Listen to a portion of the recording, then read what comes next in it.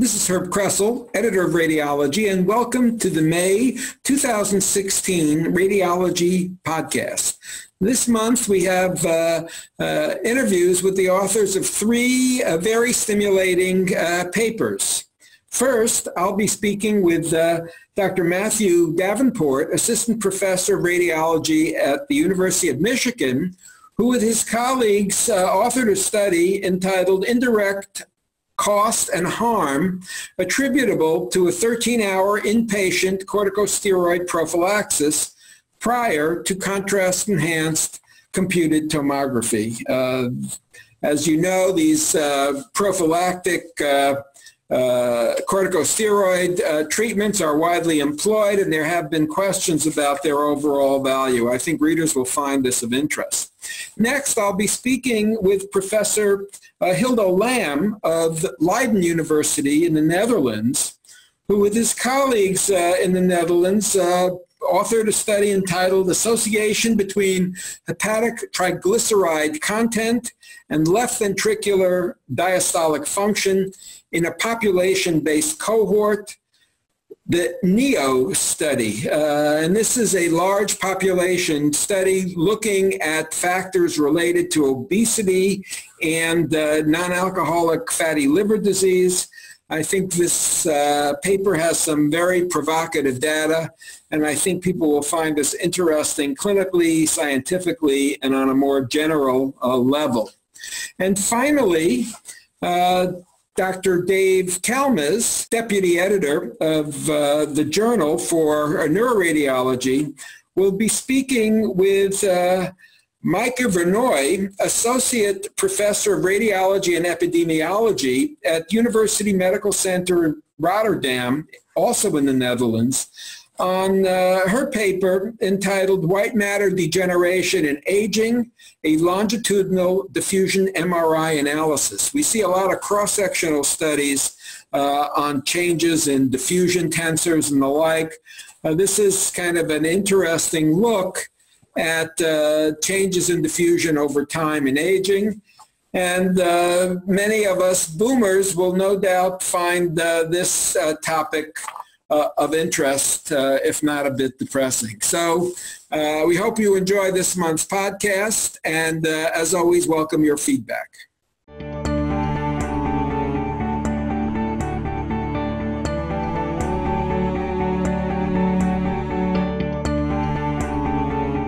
Hi, this is Herb Kressel, and welcome to the Radiology Podcast. Today I'm joined by Dr. Matthew Davenport, who is still assistant professor of radiology at the University of Michigan, despite his many publications, I might add, and who with his colleagues at the University of Michigan has uh, authored a, a very provocative paper entitled Indirect Cost and Harm Attributed to Oral 13-Hour Inpatient Corticosteroid Prophylaxis Prior to Contrast-Enhanced Computed Tomography. Welcome, Dr. Davenport. Thanks for having me. It's a pleasure. So this was a very uh, interesting topic, uh, but precisely uh, why did you and your colleagues decide to undertake this study? Was this kind of a homegrown question in a practical nature, or was this kind of a theoretical interest? I think it was a combination of both, to be honest with you. I mean, we, we've in our group have thought about steroid preps for a long time. Our steroid prep policy has evolved over the years as our clinical friends have said increasingly we're, we're tired of prepping our patients for these off indications, things we don't think are necessarily risk for contrast. And over time, we've honed our policy down to basically only prepping people with a who have a history of a prior contrast reaction. But even in that patient population, the evidence base is not very strong to do it. In fact, in other countries, um, it's not done at all. And the reason for it is that the evidence is supporting um, steroid prep to prevent uh, lethal reactions is weak, uh, and the number needed to treat is very high. And a recent publication that came from our group said that the number needed to treat uh, to prevent a lethal reaction was in the tens of thousands. Wow. And so that got us thinking, you know, what is the effect really of doing this in an inpatient population where prepping someone might affect their length of stay? Okay, now, uh, ideally, I think one would do a prospective double-blind uh, study, but you and your colleagues use retrospectively collected data in part. Uh, how did you reduce the bias that one typically sees in this type of uh, retrospective study? Yeah, good question. I think doing a prospective study in this context is actually quite challenging because the signal we're trying to measure is very, very small. So the prospective double-blinded study, which have been done in the past, had a hard time showing an effect size in this exact kind of a scenario. So it's got some trouble. So retrospective data does have some advantages in that you can look at many, many, many patients in a very tightly defined cohort without all the cost associated. The way we reduced the bias was two different ways. One is um, we matched the two groups, people receiving a prep and not receiving a prep on the basis of their age, their sex, and the year the CT was performed. Uh, and then once we did that, we then looked at a series of um, a dozen or so important um, clinical risk factors or comorbid diseases that might predict whether someone would be in the hospital longer or a shorter period of time. And we found the rates of those were basically similar in all the different um, okay. groups. So they were matched uh, uh, for some demographics, but they were sort of had a reasonably equal distributions of relevant comorbidities that might affect length of stay. That's correct. You didn't seem to consider allergic history, minor reactions, things that you might be interested in. How come? Yeah, the major reason for that is that um, at our uh, hospital, the policy is to prep for certain indications. So if somebody was to have that indication, they would automatically be in the um, prepped group, and if they did not have the indication, they'd automatically by default be in the non-prepped group. So it would be impossible really to control for that. Okay. Now, uh, interestingly, uh, you also used a hypothetical cohort. Uh, and uh, what did you try to study with this group of hypothetical patients? That's right. So we had two different approaches to this. One was looking at the actual uh, groups. What was their length of stay that may or may not be associated with the steroid prep? And then the other group was the hypothetical cohort where we said, based on what we learned from our study cohort, can we try to model what the cost would be on a population level uh, to try to prevent one reaction-related de- death by using these steroid preps? And um, so they're sort of different different goals, but same topic. Mm-hmm. And uh, how were the underlying assumptions that drove the hypothetical analysis determined? Um, so we conducted a sensitivity analysis for our hypothetical cohort, and the purpose of that is to model the variability within a particular variable, which we don't necessarily know what the right answer is. So mm-hmm. let's say there's a publication that came out and said the risk of death from anaphylaxis is X, and another publication comes out and says, well, actually, I think it's Y. We can actually model that variation between those two estimates. So the way we did that was we looked at the published literature and the data from our uh, cohorts to mm-hmm. determine what the variable uh, should be. So uh tell us what you actually found. What, what were the key findings in your study? Um, I was actually surprised at the signal that we found in the data. I was expecting to see a minor blip maybe, but it was a pretty strong signal. We basically found that patients, inpatients who get a steroid prep, the 13-hour steroid prep, have a 25-hour median prolongation in the time from admission to CT, and they also have a 25 hour median prolongation in the time from admission to discharge. So they're spending a day and some change additional in the hospital um, associated with the presence of a steroid prep. And that was a big number to me. It's interesting those numbers are actually identical, that there was a 25-hour prolongation before the CT and the aggregate um, length of stay was 25 hours longer. Patients who got a prep actually tended to get discharged a little bit faster after the prep um, uh, compared to people who didn't get the prep after the CT, and I think that's because they were just tired of waiting around the hospital, basically. Um, and also we found that patients who got a steroid prep had a higher infection rate, and we think the reason for that is that they had a longer length of stay. The um, infection rate per thousand hospital days was similar between the two groups, so we don't think it was an enriched or sicker population. we think they were just in the hospital longer. And um, the hypothetical cohort showed that, um, as you'll see in figure four, that to try and prevent a death from contrast in patients who have risk factors, who've had a history of a prior contrast reaction, you end up putting a lot in the tank. You spend a ton of money. You indirectly are associated with a lot of hospital-acquired infections, and you indirectly are associated with a lot of hospital-acquired infection-related deaths. And in the sensitivity analysis, even in the best case scenario where you, where you uh, model the, the most therapeutic benefit from a prep and the least harm from a prep, the model still shows you kill three times as many people as you save by prepping this inpatient vulnerable population. And those numbers were surprising to me, but at the same time, maybe, maybe it's not surprising. So just to uh, make it clear, the relationship between the corticosteroid uh, prep and the hospital-acquired infection is really mediated by the length of stay. There's no direct relationship between those two? My hypothesis, my hypothesis is that it has to do with the length of stay prolongation, but that's a guess, of course. It, I mean, it may be that there's some minor um, immunosuppression that occurs, but I think that's less likely to be true. Okay. Now, uh, what about the outpatients? You sort of mentioned as a study limitation that you didn't really consider them. Uh, can the results be extrapolated? A lot of this is length of stay related, so presumably if you did it in your home, you wouldn't have uh, that risk. And then how might this actually affect policy? Would, would you contemplate changing policy for inpatient but not for outpatients? Mm-hmm.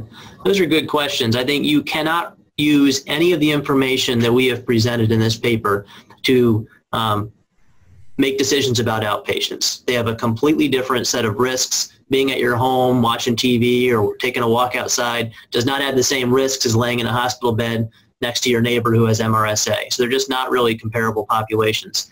Uh, with regard to policy, that's a tough one. I mean, I, I guess I tend to be a little bit of a cynic, and I would say that this is not sufficient evidence necessarily to unilaterally change policy, but I think it's it's uh, stimulating to me, it's interesting to me, and it certainly should propel further interest in this to maybe study it in a more rigorous way to see if the findings can be replicated. So um, uh, at your institution, has the these findings have has been there been any movement to alter policy, or is this just kind of uh, uh, in the tank and uh, we'll see what happens? Yeah, I think um, we're still sort of recovering from the shock of the numbers, honestly. And um, I, I, would not advocate changing policy at our hospital just on the basis of this. And I, the reason I say that is because it requires a lot to change policy and the current ACR standard is to prep these patients and the current United States standard of care is to prep these patients. And I think it'd be difficult to change a local policy without a concomitant change in national policy. I see. So let's, uh, for your final pithy question, let's cut to the chase. Uh, Dr. Davenport, if uh, unfortunately you were a, a, patient in a hospital and had a prior reaction, uh, would you uh, decline uh, the corticosteroid prep based on what you know? So I'm going to give you a slightly nuanced answer. So if my history is a prior contrast reaction, I'm getting the same class of contrast medium, and my prior reaction was mild, I would decline the prep and say just go grab an EpiPen and stand by. No okay. prep. If I had a prior moderate or severe reaction, I might have a different thought about it. If my reaction was severe, I'd say, please don't give me contrast at all. I don't want to prep or the contrast. And if my prior reaction was moderate, I'd consider getting a prep first. Okay, that's fair enough. Uh, uh, very thoughtful. Great to speak with you again, Dr. Davenport. My pleasure. Thank you.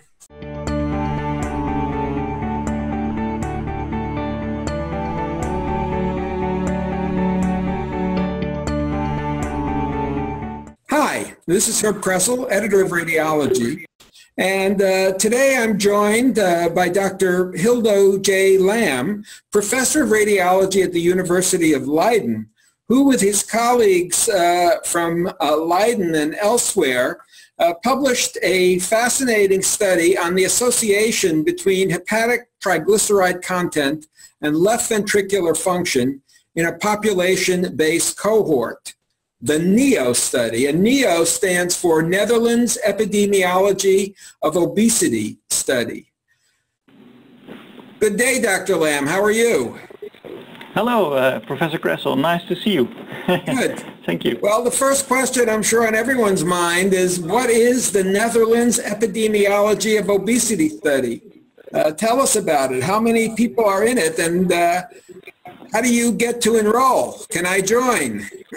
yeah, that, that's uh, indeed uh, an interesting question. Uh, the, the study is actually already finished, so all the inclusions are completed. And in total, we had a complete uh, study population of more than 6,600 uh, patients. And that includes uh, people with normal weight, that was the smallest group, and also people with overweight and with uh, obesity.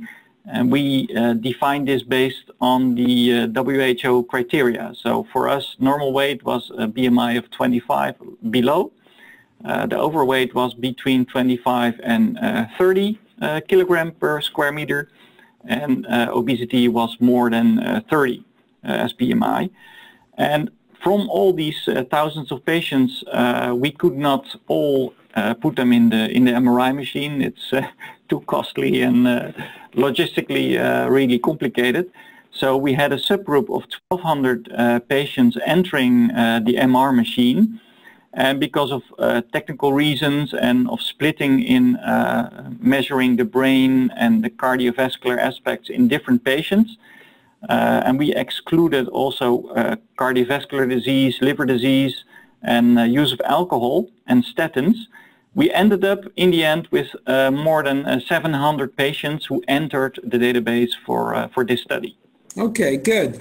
Now, uh, just to go back, uh, in the, the larger study, what happened to those people once they were enrolled? Were they just monitored or did they have any intervention or what was measured?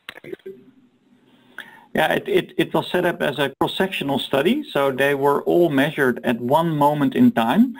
And the idea was to perform a, a real basic uh, epidemiologic uh, study uh, and what we do now, because it is already in follow-up for four to five years, is that we do a clinical follow-up. So we have one measurement, including all kinds of things, but also neurologic testing, blood samples, but also MRI of the brain, cardiovascular system, even of the knee in some subgroups. And the idea is to follow them up uh, clinically. So uh, check for events, check for new disease, for treatments, and, and mm-hmm but there is no additional imaging uh, planned on those. I see. So, uh, and before we get into the study in a little more depth, can you tell us a little bit about the relationship between non-alcoholic fatty liver disease and cardiovascular disease? Yeah, that, that's actually one of the main uh, topics we are uh, researching now and also in, in other groups, research groups, there's now a lot of interest in that topic, the relation between liver fat and cardiovascular function. And uh, of course, yeah, we don't know exactly what the relation explains, but we have some, some ideas. Actually, we think that the liver plays a central role in our uh, lipid metabolism, as already known in the past, but that the liver is also directing the delivery of fat to uh, organs. So we call that uh, ectopic, uh, ectopic liver uh, content. And uh, for example, um, in the vessel wall, in the heart itself, and in other organs like the kidney, uh, there can be liver accumulation. And the idea is that you mean liver or you mean lipid accumulation? Yeah, just the, the, the lipid accumulation, okay. for example, in the heart.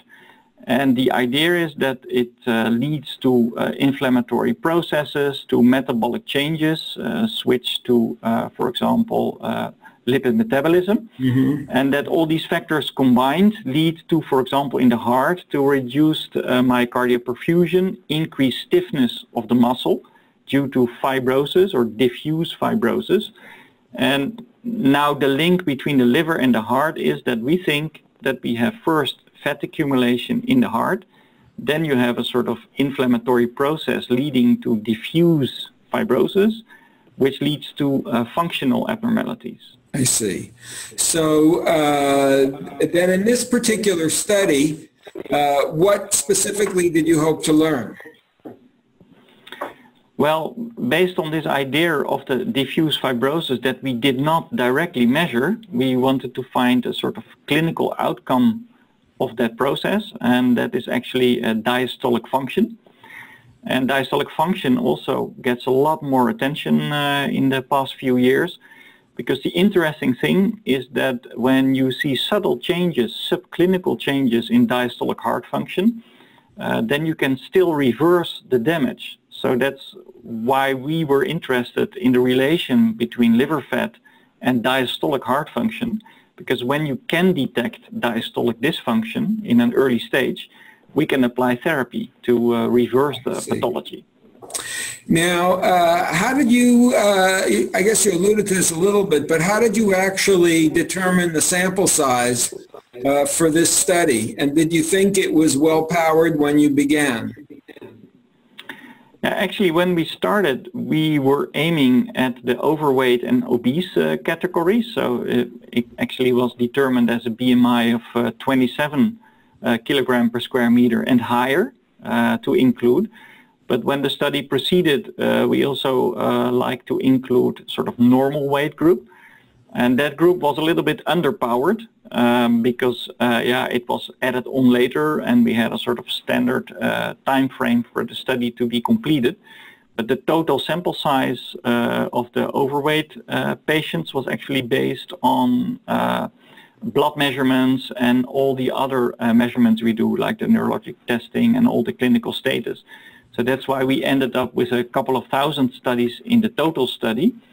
And based on our uh, experience with the standard deviations on the MRI measurements, we could decide to lower the number of MRI examinations to a more reasonable number to scan in, in a few years. I see. So uh, what specifically did you do in your study uh, and what did you find? Yeah, what we did, uh, and that is uh, nicely uh, depicted actually in, uh, in figure two, uh, is that we measured the fat of the liver using MR spectroscopy. that was a single volume measurement at a sort of standardized location in the liver. And what we did there is that we acquired uh, just a water spectrum without suppression. So then you measure the water content of the liver in that certain area. Mm-hmm. And after that, we applied the same acquisition, but then with water suppression. And with that technique, you actually zoom in to the fat signal. Mm-hmm. And if you then def- uh, divide the fat signal by the water signal, you get a relative uh, fat percentage of the liver in that area. And what you see in the in the figure two is that on the left side, on the top, you see a typical spectrum of a normal weight uh, volunteer. Uh, you see very high water and very low fat signal. That is the, the back row. And when this is quantified, in this example, the, the fat content was uh, about 1.5%. So that is completely normal. We consider a fat percentage below 5.5% uh, as normal. And then in the middle, uh, you see a patient with overweight. There you still have a normal fat percentage in the liver, but it's higher. It's now uh, about 3.5% uh, fat. And on the top row uh, on the right, you see a patient with uh, obesity.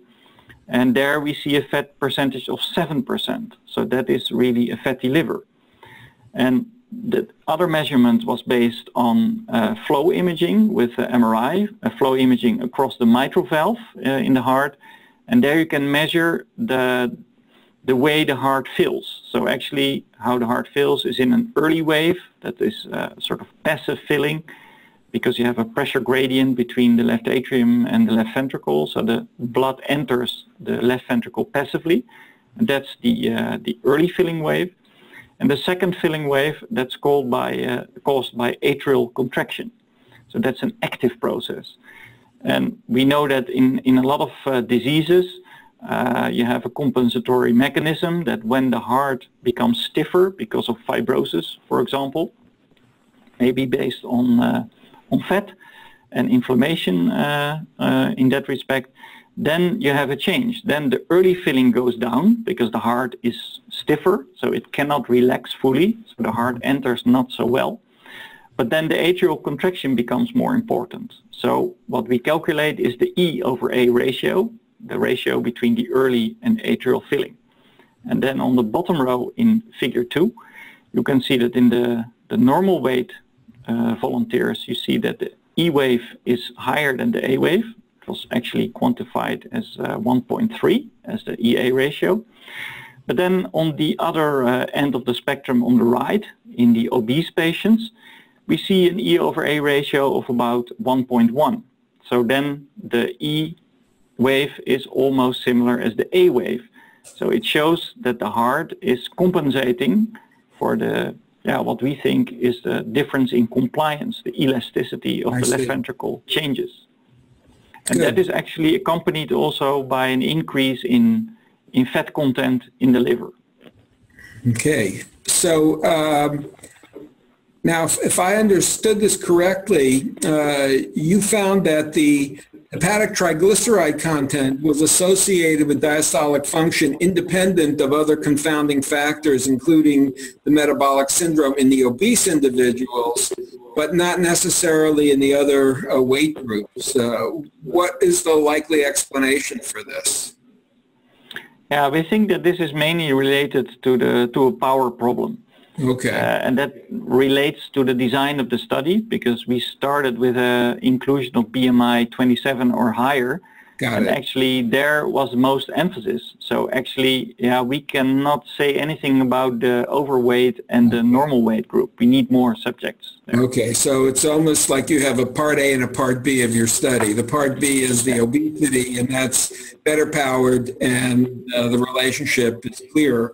Now, uh, you know, it, it, occurred to me uh, you used MR spectroscopy, which is a very recognized uh, reference standard. Could you have used IDEAL or one of the uh, imaging uh, tests to develop the fat fraction? Would that have been as useful, or do you need to look at the specific fat types? No, that, that's really an interesting question. Uh, why we use spectroscopy in this study is more uh, a historical reason because we started doing this, uh, well, the idea originated in 2006 and actually nice. we started scanning in 2008. And at that time, the, for example, Dixon techniques were not so developed yet.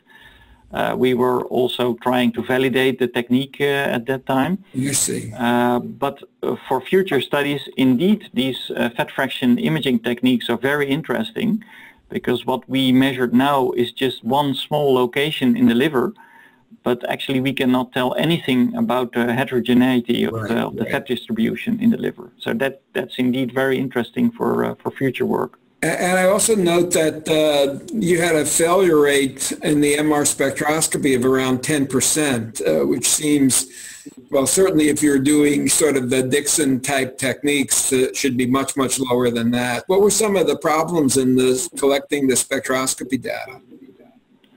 Yeah, that, that's mainly related to the, the setup of the study. Uh, we scanned those patients in a 1.5T mobile MRI scanner that was hired for the study. Uh, and it was scanned by regular MR technicians. So oh. in the beginning, we were training them for uh, the functional imaging and all the standard imaging for the brain and the knee and the heart and the vessels. And spectroscopy is quite hard for them to learn. So actually, yeah. the, the 10% problems were in the beginning of the study. I see. It's learning curve issues. Yeah.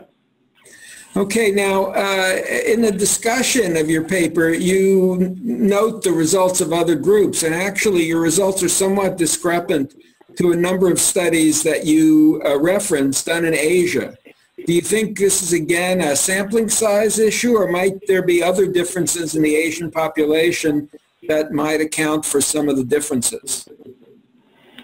Yeah, I think th this is also a very interesting point. Uh, of course, we have the, the sampling uh, issue between all the different studies, but actually we are also performing now other studies in uh, other subgroups. For example, we are now working on a study in uh, Hindustani, and the first results show that indeed they have different type of fat distribution throughout the body, so maybe there can also be a difference in, in different populations. Hmm. Uh, also, for example, as shown in the MESA study, they observe different normal values for even uh, simple measures like ejection fraction uh, and diastolic volumes.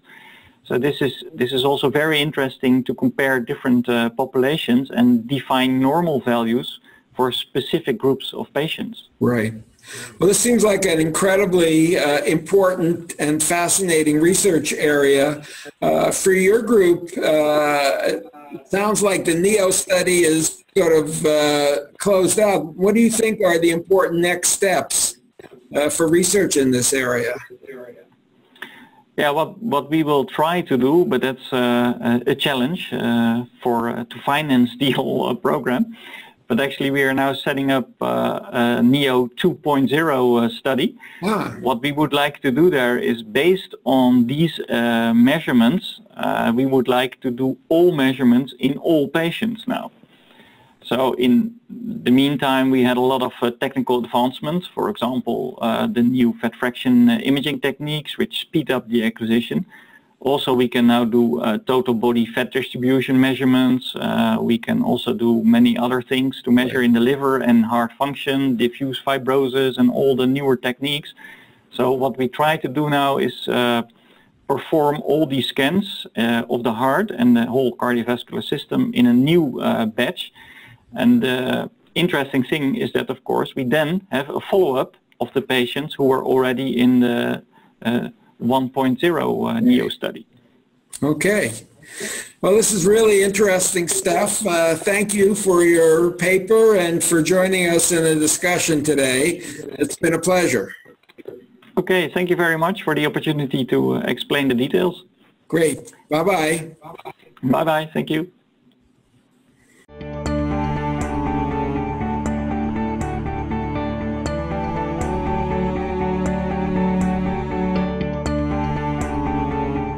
Hello, my name is David Kallmes. I'm Deputy Editor for Neuroradiology.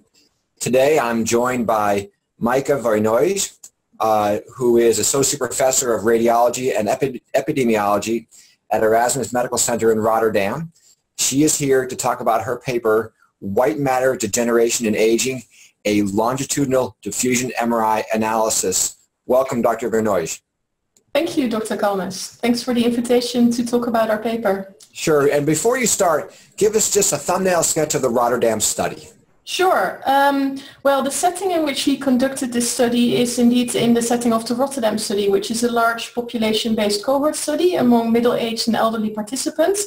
They all originate from the same suburb in uh, the town of Rotterdam. Um, the entire Rotterdam study consists of close to 15,000 people and it has been running since 1990. And the main aim of the study is to study causes and consequences of age-related diseases. And among those, neurological diseases are one of the main topics that we're studying. And then mainly the neurological diseases that are very frequent occurring in older age, so stroke and dementia.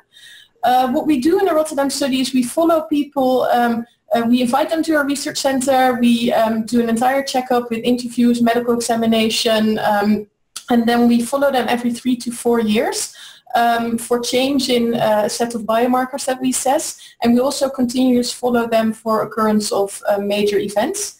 And in 2005, we incorporated in the core of the study protocol um, uh, brain imaging. We uh, have a dedicated research scanner with dedicated research technologists who scan every participant who comes to the research center. So right now we have um, over 5,000 unique baseline scans in our participants and up to 3,500 people have had longitudinal imaging. And um, our imaging protocol uh, consists of uh, structural scanning and a bit of functional scanning. Uh, it also includes resting state fMRI. And for the structural scanning, we do T1 weighted imaging, T2 weighted and FLAIR imaging to look at brain tissue volumes and white matter lesion uh, volumes. Uh, but we also have uh, a diffusion tensor imaging sequence in the protocol to study microstructural change in white matter. And that is what the current uh, paper mainly focuses on. Um, and the specific aim of the current paper was to see um, to study longitudinal change in diffusion properties of the white matter over a two-year time period.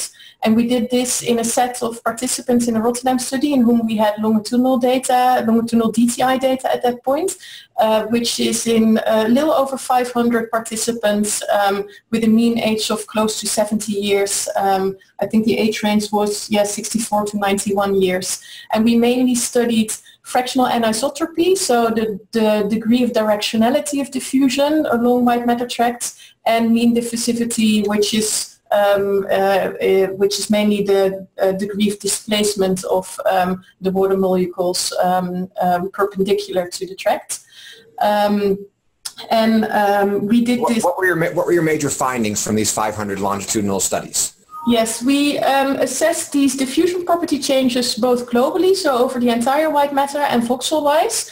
And I think, well, our main result is that when we um, looked at these changes over two years' time, we saw that a widespread in the white matter, we saw that uh, both FA decreased and MD increased, both of which reflects a worse microstructural integrity of the white matter, um, which is um, something that we um, could expect, but that was all based on cross-sectional studies because up to now the main work of other studies in uh, using diffusion tensor imaging has been done cross-sectional, also in aging, in which we saw that with increase in age the white matter um, uh, structural integrity decreases.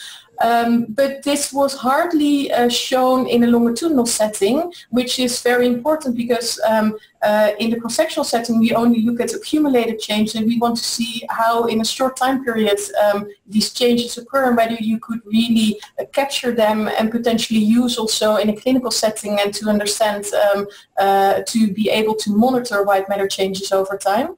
So we see that even over a relatively short time period, we see that there's widespread changes, which I can show if we look at figure two in the manuscript. This is actually showing us the um, the main finding with change in FA and MD over time. In the top row, we see how FA changes over time, and the red color indicates regions where FA decreases um, over the two-year time period. And in the bottom row, we see uh, mean diffusivity, MD, change over time, and the blue color indicates the increase in MD. And as we can see, and these are all, um, this is uh, projected on a white matter skeleton as used in tract-based spatial statistics. That's a method that uh, people working with DTA, DTI data are very familiar with. Um, so this essentially shows the, the core of the white matter um, skeleton and the center of the tracts. And as we can see, um, very widespread over the center of these tracks are the changes in FA and MD. Um, what is very, um, what we should note here is that these are changes in normal appearing white matter. So this was white matter that appeared completely normal at baseline. So we excluded all the white matter uh, lesion voxels that were present at baseline. Uh, what is furthermore of uh, noticeable is that, or is important to stress, is that um, these changes were apparent and were significant even after we adjusted for the amount of white matter atrophy and white matter lesion uh, volume that people had. So these are more what we often call macrostructural markers of white matter disease. And when we adjusted for these, we still found these microstructural changes. So that means that above and beyond these macrostructural changes, you can really measure these microstructural changes over time. Uh, one other thing that I would like to note in uh, figure two is that even the, so the red color shows the decrease in FA, so that's the direction that you would expect, and a decrease in integrity in the white matter. But we see some small blue areas in the top row, um, and that indicates that there's an increase in FA over time in these areas, which seems very paradoxical because we would expect, of course, that there's only um, a deterioration in white matter over time. But it is less paradoxical if we realized um, how FA is measured. And FA indicates the directionality of water diffusion in voxels. Um, but of course we know that white matter tracks in the brain um, can cross and there's actually many, many crossing tracks in the brain. Um, and if in a voxel, in a particular voxel, two tracks cross within that voxel and only one of the tracks, so then in that voxel the entire FA for that voxel is averaged over these two tracks. But if only one of these tracks um, deteriorates over time and the other tract is preserved, we can measure a sort of paradoxical increase in FA because that one uh, tract that is preserved has a much stronger directionality suddenly than the average of the two tracks in the voxel.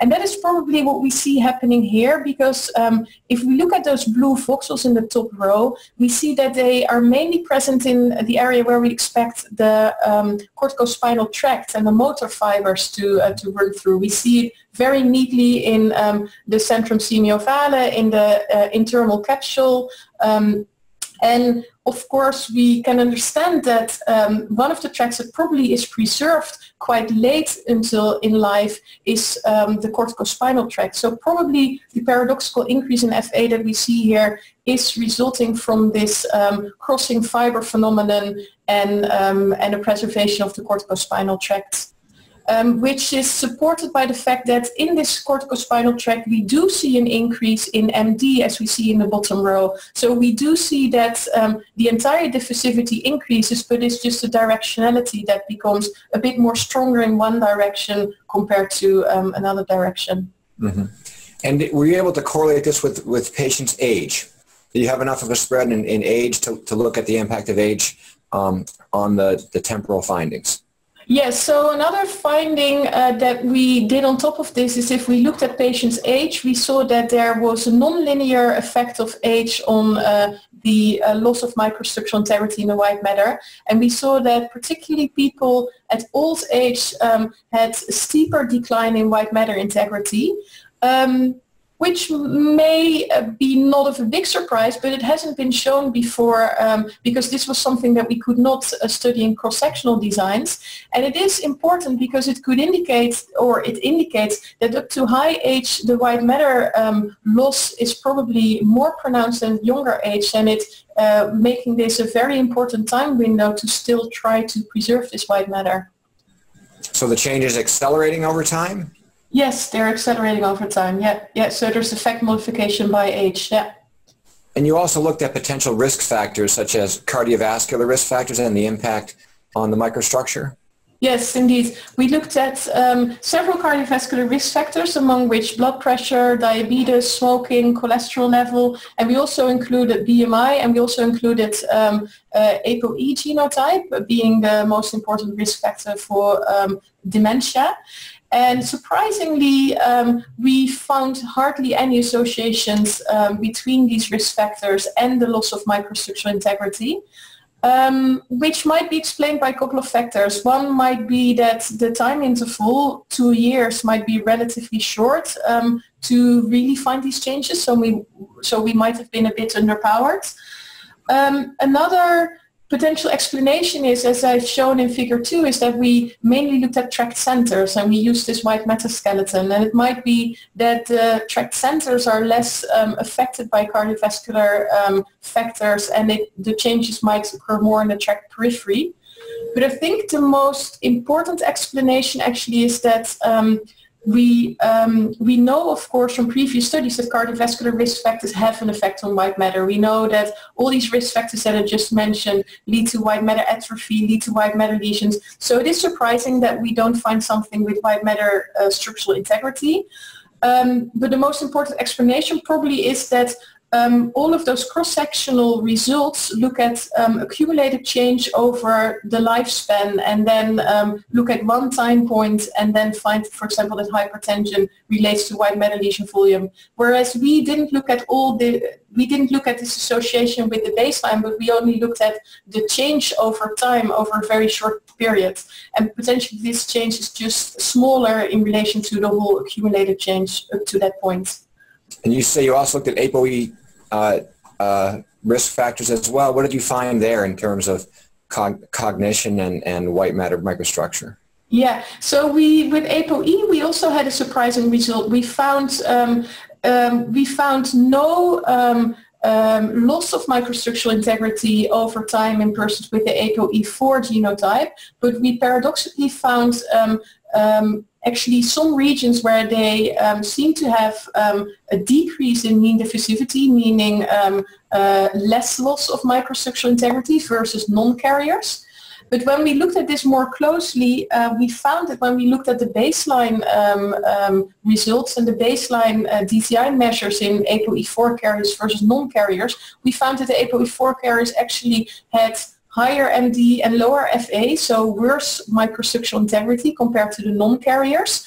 So um, even though we didn't, we, they seem to be doing a bit better over the two-year time follow-up, their start was worse. So that might indicate that um, their um, brain damage caused by the ApoE4 genotype probably had already occurred uh, before we started to follow them up. So that might mean that that damage already occurs earlier in life, so that later in life they have um, seemingly less damage compared to um, to the non-carriers, which might also relate a bit to a healthy selection or a healthy survivor bias that perhaps the persons with ApoE4 genotype in our study, it being a population-based study, might have been a bit healthier relatively compared to the non-carriers. Did you correlate any clinical or neuro- neuropsychological outcomes with the imaging findings? Uh, not in the present study, but um, as in the entire Rotterdam study, one of our um, outcome measures is cognitive function and cognitive change. We also, um, we have done in the past and we are currently performing uh, studies looking at the relation between DTI measures and uh, cognitive function. What we found in the past when we looked globally for the entire white matter, we found that um, FA and MD in the entire white matter relates to um, cognitive function with people with a lower FA and higher MD having a worse cognitive function. And again, this is on top of and beyond the uh, present white matter atrophy and white matter lesions. Um, what we are currently also doing is looking at specific white matter tracts to see whether, because the white matter of course is not an entire bulk substance, but um, is um, actually divided into um, functional uh, different tracts and how these relate to cognitive functioning. Um, and we see again, quite similar to what we've shown in the present manuscript, that a widespread, um, um, uh, there's a widespread loss of um, white matter structure that relates to cognitive functioning. So there's many tracks that contribute to the cognitive decline over age. And I think if we um, think about how we can use the results for the present paper um, and translate them more to a clinical um, to clinical setting, for example, um, what we show in the present paper is particularly the uh, magnitude of um, uh, the microstructural changes in the white matter over time. But these can be the basis to, um, for example, define what is normal because it's very hard. We understand to a certain extent, for example, what a normal volume of the hippocampus is, and we use that measure, that biomarker in clinical practice. Um, but for a new measure like uh, microstructure integrity, uh, we are in need of reference values and of an understanding of what is normal in order to be able to translate that to an individual person um, and decide whether his or her change over time or an acceleration of white matter um, uh, microstructural um, damage is um, is in line with what we expect um, adjusted for age and sex or whether it's, um, it's more pronounced. Well, uh, well, thank you for your time today and congratulations on a fantastic paper. Um, we look forward to, uh, to more papers from your excellent group going forward. Thank you very much.